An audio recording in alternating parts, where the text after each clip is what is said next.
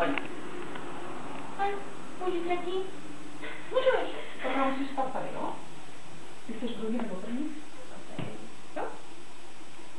Budeš to mít možná, pojď možná jednodušší. Já budu dělat chyby tam mají tam, to tak, takhle se můžeš držet tonika. Jo, nebo tonik tebe. Ty to máte stejně vlastně rytmicky, takže pojďme. Zkusme.